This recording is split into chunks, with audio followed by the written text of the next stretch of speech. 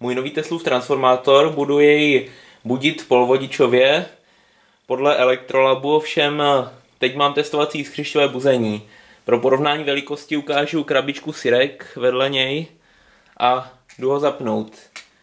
Není to nijak sladěné, měl by z něj jít udělat i větší výboj, ovšem zatím to jde tak, jak to jde. Já zde zhasnu osvětlení a zapnu Teslův transformátor.